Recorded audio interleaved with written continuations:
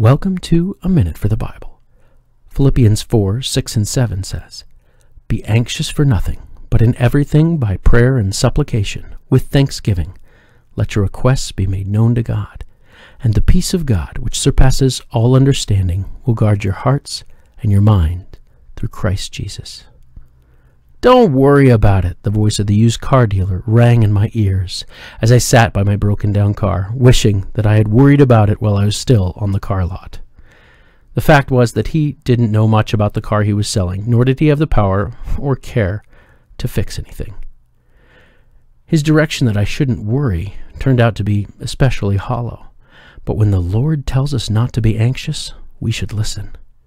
The Greek word merimnao means to be troubled with cares. And we are here commanded, with the present active imperative, not to be troubled by our cares. But why? What are we to do with our burdens and fears? Why are we are meant to make our requests known to God. This tells us two very important things about the Lord. First, that he cares, and second, that he can.